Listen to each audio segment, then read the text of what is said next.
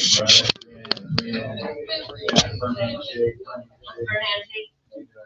my hand like a girl. Hey, Pastor. Hey.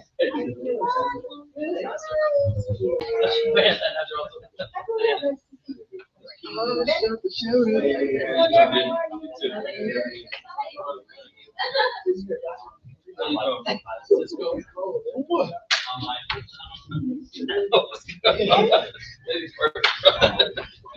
up, President? So how you doing? All right. I have to. I have to. It was, it was ten dollars. I was. I was like, I like I ran. Ahead. Go ahead. Go back on your places support. No, all my cards on the PS Five. No, no. It was only ten dollars. Come on. Oh. On the screen, you got one in the first place. Yes. Yeah.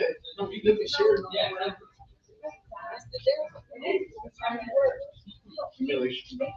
Hey, John.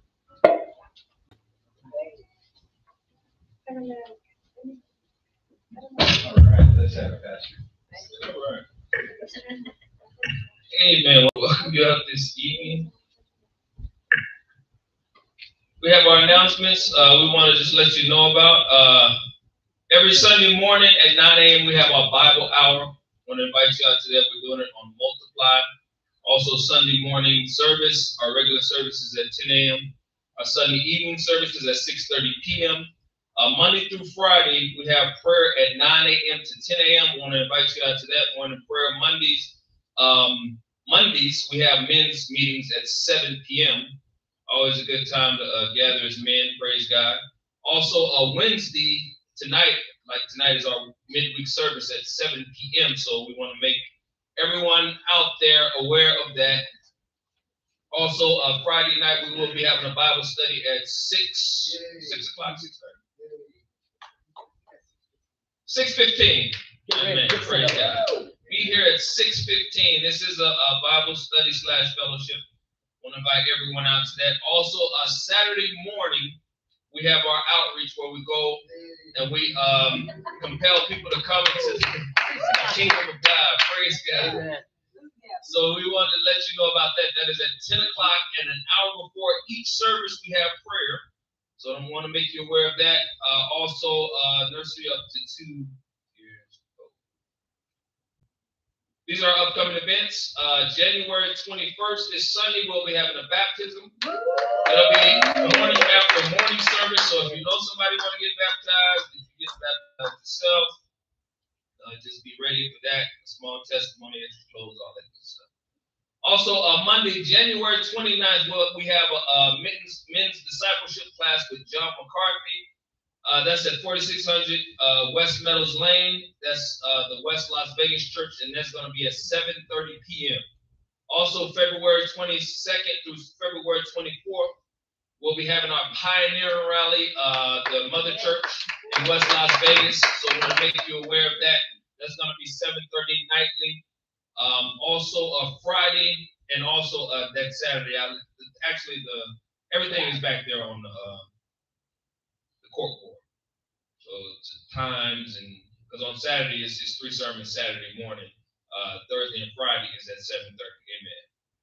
So uh, looking ahead, Friday, April 12th through Sunday, April 14th, we have revival with Pastor Looney. Amen. So praying about that. And also uh, December 13th through 18th, looking way ahead, we have our Bolivia trip. So get your passports ready, save your money, book a flight. All right, we're going to take an offering this evening. And I'm just going to ask Sean to bless the gift and the giver as we give this evening. Father God, we thank you for this time that we can give to your kingdom. We thank you, O Lord, that we get this opportunity, that this is a privilege, O Lord, that we can invest in your words. God, we can be able just to see that what we do, oh God, it works, oh God, that we can begin to see men and women discipled and risen up, discipled and out, oh God, and then you begin just to touch them. God, I'm praying right now that these doors remain open. It can be a direct translation to souls. That we can begin to see souls that are won, oh God, to your name. That there's that these seats can be filled, oh God, with more than just numbers, but with conversions, oh God, and disciples, oh God, that are yet to come. I'm praying right now, God, if we have any plans or world evangelism, God, that we can begin to give it, oh God, into your name. We can begin to give it into the overworked seas, the, the overseas works, oh God, and we can begin to see your name glorified as souls get saved out there. God, I pray that you bless the gift and the giver. In Jesus' name, amen. Amen. Look what the Lord has done. And look what the Lord has done. Look what the Lord has done. Look what the Lord has done. He healed my body, touched my mind.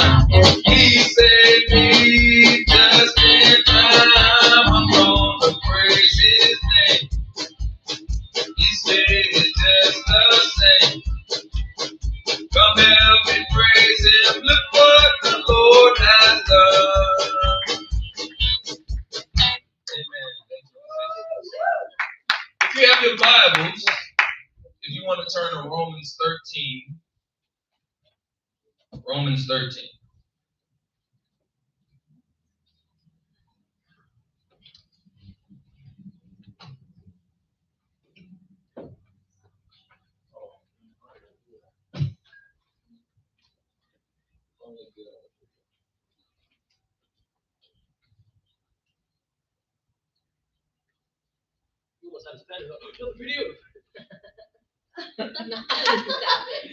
Romans 13.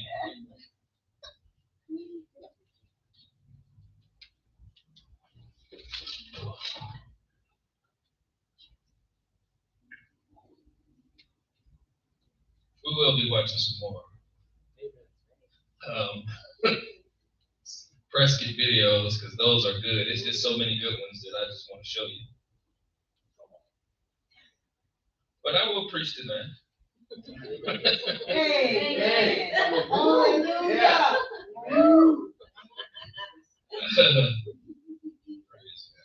Romans 13, and we're going to be reading verses 11 through 14. Amen. I'm sure everyone has seen somebody, especially in the summertime. And we look at people, I mean, everywhere we go, we, we, we see people, right? We see them walking up the street in the grocery store, on our jobs, in our neighborhoods, in our families. We see people, and and one thing that stands out about, out about people all the time is the way they dress, right? Um, in the summertime, a lot of times I I look at people and the way they dress, uh, mainly females, I'm sorry to tell you. and it's like, put on some clothes. Why did you come out the house looking like that? Right? And I'm not trying to be rude, it's just things are changing. Right? It's like, no, please put on some clothes. Someone once said clothing should be a frame for your face. Right? In other words, you shouldn't dress in a way that draws attention to your body. It needs to be a, you know, respectful. Cover up yourself. Put on some clothes for goodness sake. I want to preach a message entitled Put on some clothes.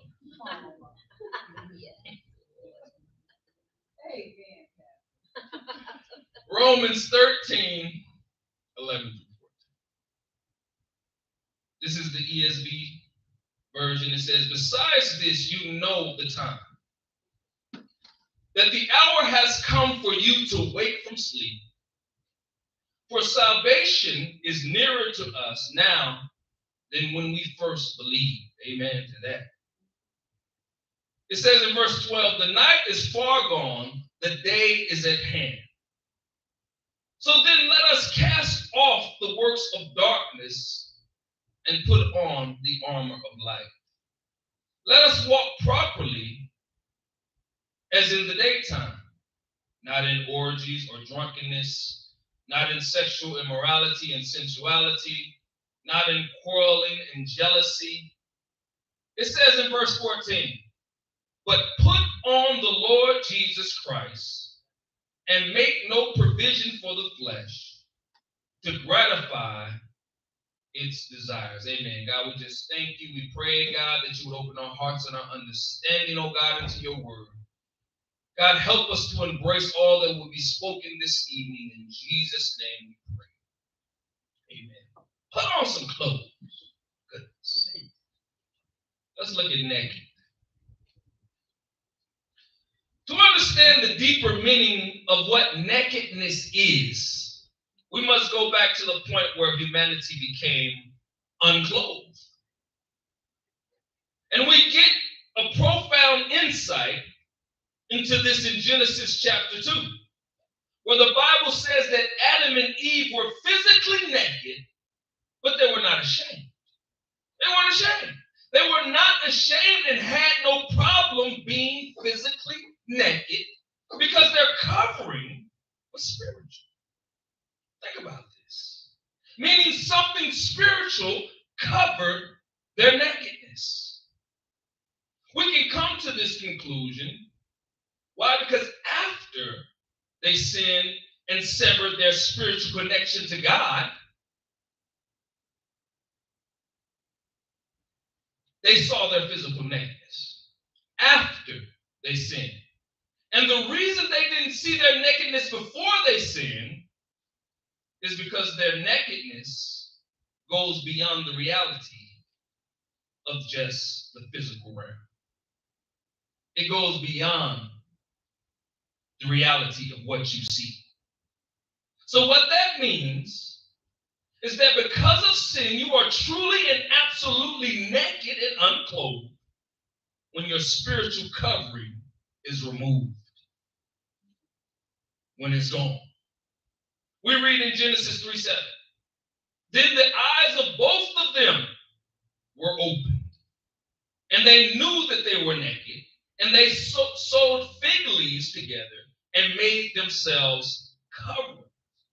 Only after they sinned did they see their nakedness because their covering was removed. You? No spiritual covering. And then arguably, their covering was the presence of the Almighty God in their lives. This was their covering. Psalms 91 4. He shall cover you with his feathers, and under his wings you shall take refuge. His truth shall be your shield and buckler. Buckler. buckler. Deuteronomy 33 12. Let the beloved of the Lord rest secure in him, for he shields him all day long, and the and the one the Lord loves rests between. But when the darkness of sin gets a foothold in your life, that covering begins to come off. And this is a principle throughout the Bible, and it plays out through Scripture. And again, this started back in Genesis 3 8. And they heard the sound of the Lord God walking in the garden in the cool of the day, and Adam and his wife hid themselves from the presence of the Lord God among the trees of the garden. It says they hid themselves because their spiritual covering was removed. It says in Isaiah 59 2, but your iniquities have separated you from your God, your sins have hidden his face from you so that he will not hear. We see when the nation of Israel, or rather Judah, sinned against God and they went into captivity, the Bible tells us why in 2 Kings 24 20. It says, These things happened because of the Lord's anger against the people of Jerusalem and Judah until he finally banished them from his presence and sent them into exile. So they were banished from the presence of God. And in the New Testament, the word of God says in Ephesians 4:18, they are darkened in their understanding and separated from the life of God because of the ignorance that is in them due to the hardening of their hearts. When night falls and the darkness comes, The natural thing to do is unclothe yourself and fall asleep. When you go home tonight, you're gonna you're going to sleep. That's the natural thing to do. Well, guess what? It's no different when you willingly give place to sin in your life. Darkness comes. You begin to unclothe yourself from the presence of God, and then a spiritual sleep comes over you. This is why scripture warns us in verses 11 and 12. Besides this, you know the time that the hour has come for you to wake from sleep. For salvation is to us, is nearer to us than when we first believed. The night is far gone, the day is at hand. Let's look secondly at scantily clad. Have you ever heard that term? Scantily clad. That's an old term. That's an old school term. So when we serve God, our continual desire must be to remain clothed in his presence at all times and never become scantily clad. I'm sure someone is asking, what the heck is scantily clad? So, by definition, scantily clad means to be inadequately clothed. A synonym or synonyms for it is half clothed, underclothed, unclothed. So, continuing with the illustration, when the night comes and the darkness falls, again, the natural thing to do is get comfortable, take off your clothes, and slip into your PJs or whatever you sleep in. That's the natural thing to do when it's bedtime and the moon is up and the sun is down. So, this term scantily clad mainly refers to people who are dressed inadequately and inappropriately in public. But to put it another way, they wear in public what should only be worn in the confines of their home or their bedroom. They come out in public and people say they're scantily clad. They dress totally inappropriate. And you've seen them in the grocery store, walking down the street, and on the Hollywood red carpet. Their dress is scantily clad and frankly disgusting. And they're not the least bit ashamed to be wearing next to nothing in public for all to see. They just let it all hang out. And the question I have is why? This world has come a long way from Adam and Eve because the Bible says that at least when they realized that they were naked, they became ashamed. But sin has run amok so much in this world that no one cares or even are ashamed of their nakedness anymore. No one. And that's in the physical sense and in the spiritual sense as well. Jesus warns those in church out of Revelation 3 16 through 17. So then, because you are lukewarm and neither cold nor hot, I will vomit you out my mouth. Because you say, I am rich, have become wealthy, and have need of nothing, and do not know that you are wretched, miserable, poor, blind, and naked. This is Jesus Christ talking. He says, You think you got your life together with everything in order, and you think that you're all that in a bag of hot Cheetos, but you need to put on some clothes. This is what he's saying. Put on, cover it up. Put on some clothes for goodness sake. Because your self righteousness and your self aggrandizing delusion is making me sick. And the truth is that if we're not careful, we too can gradually have the clothing of God's presence removed from our lives. If we're not careful. And we can become scantily clad in our own self righteousness and self worth.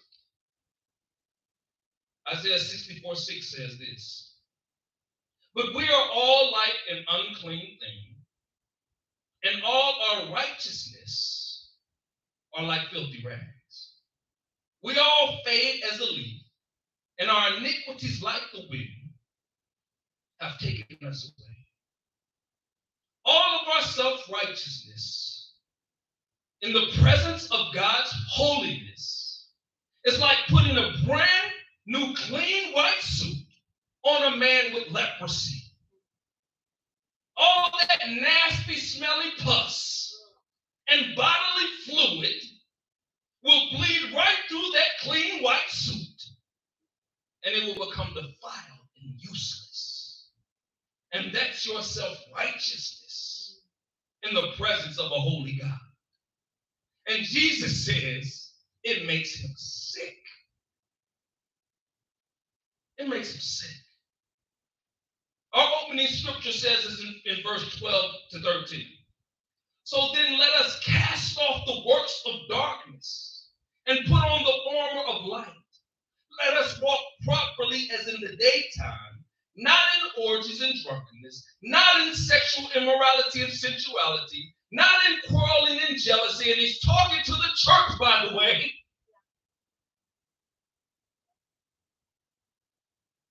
And on this list, you can easily include self righteousness.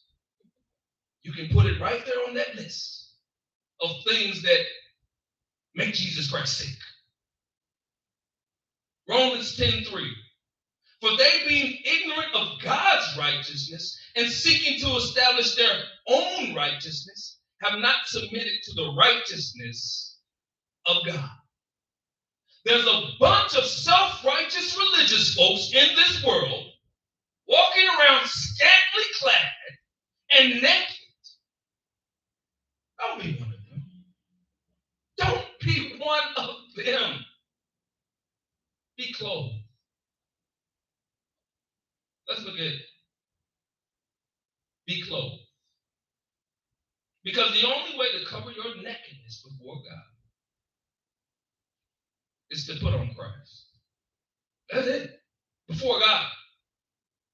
Finally, our text says in verse 14, but put on the Lord Jesus Christ and make no provision for the flesh to gratify its desires.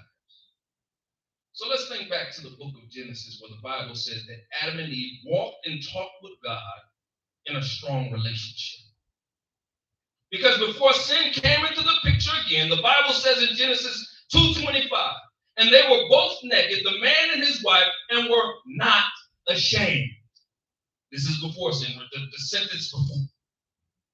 So think about this. They weren't ashamed before they sinned, because through a strong relationship with God, his presence covered. So the assumption is that the closer you are to God through a relationship with Jesus Christ, the more clothed you are. The closer you are to Him.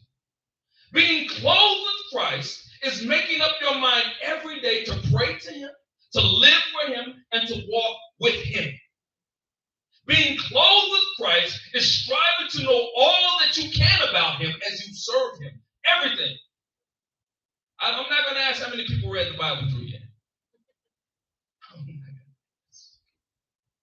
I want to keep hounding you about it, but you need to read the Bible from beginning to end, from cover to cover. Get a year Bible. It don't matter. Read the Bible through. And you should do it every year. You should do it every year. Read the Bible through. Because the closer you get to knowing who Christ is, the more covering you have.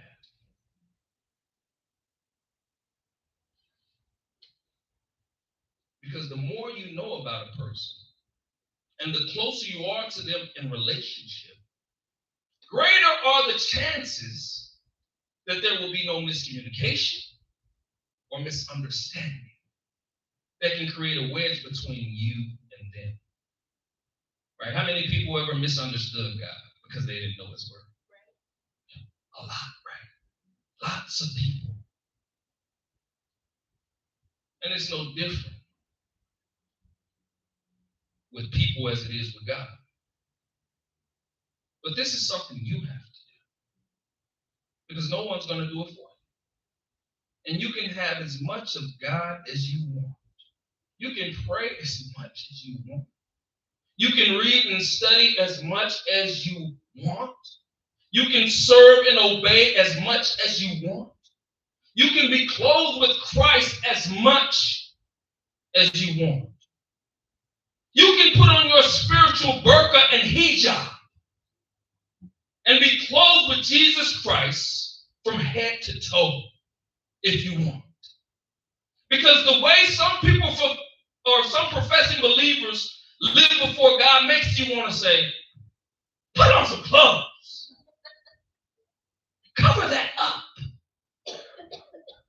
But we need to be like the prophet Isaiah in Isaiah 61 10. He says, I will greatly rejoice in the Lord.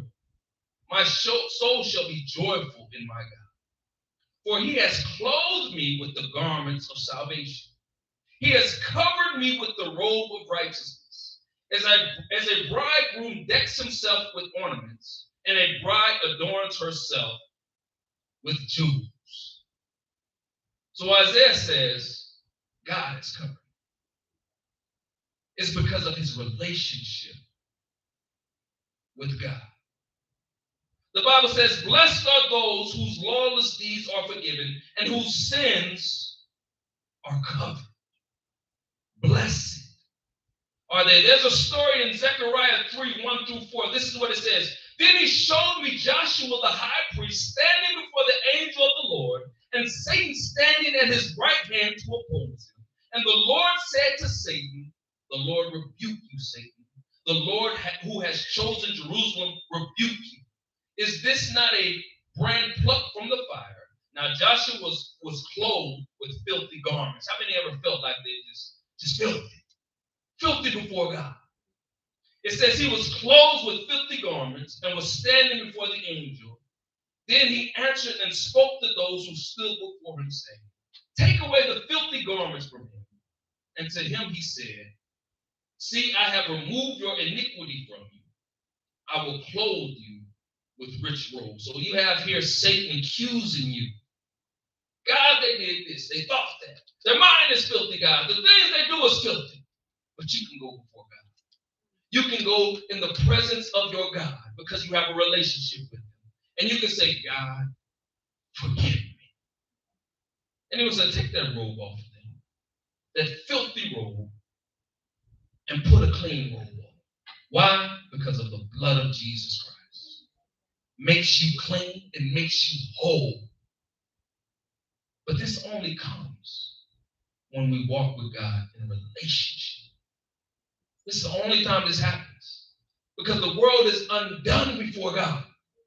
But we are his children. Let us grow our relationship with him. Let's grow closer and closer to him. Let's have our spiritual hijab and burqa on. Know, everybody know what that is? I feel, I fear that one said, that's those Muslim ladies that cover from head to toe. You can be that in the spiritual realm. You can really be that in the spiritual realm. Because God is your covering. He has your back. He's your covering. But we have to put on clothes. Amen. Let me have every head bowed, every eye closed. Praise God. This is something we have to do. this is something we have to strive at. This is our choice. We don't need to be walking around half dressed. We need to put on Christ. Amen.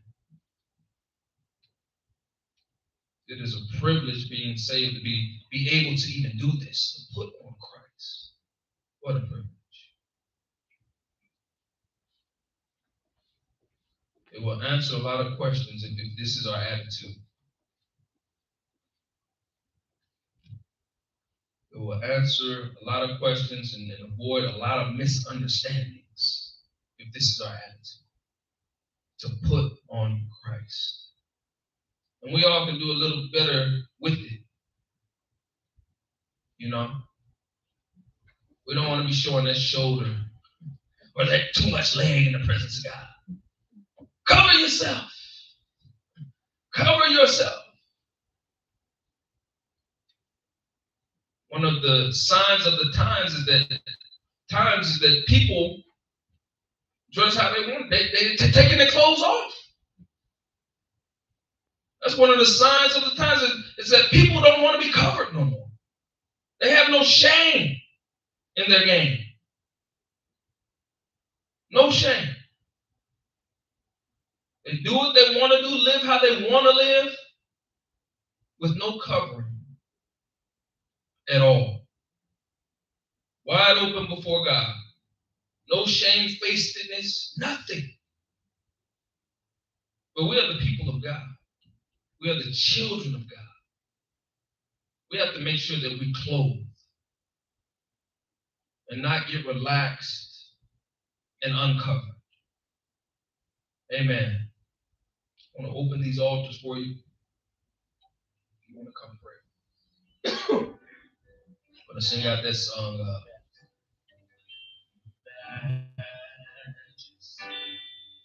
Worship His Majesty. Worship His Majesty.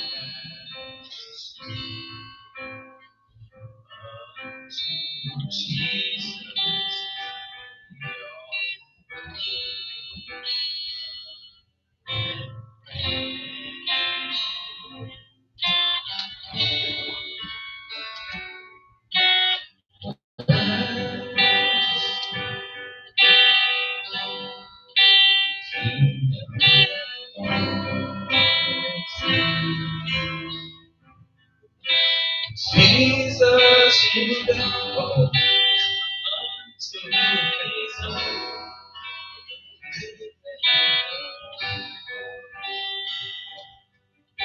Hallelujah, yes. So it's time, lift up on high the name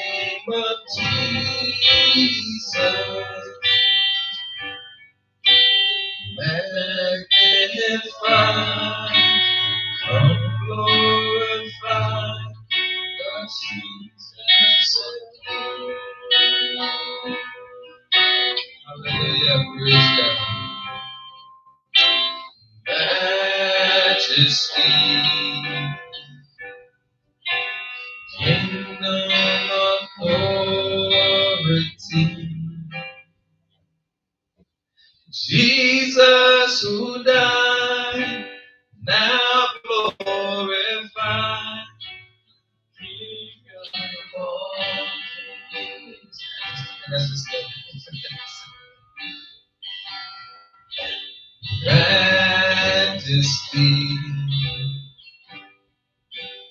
worship His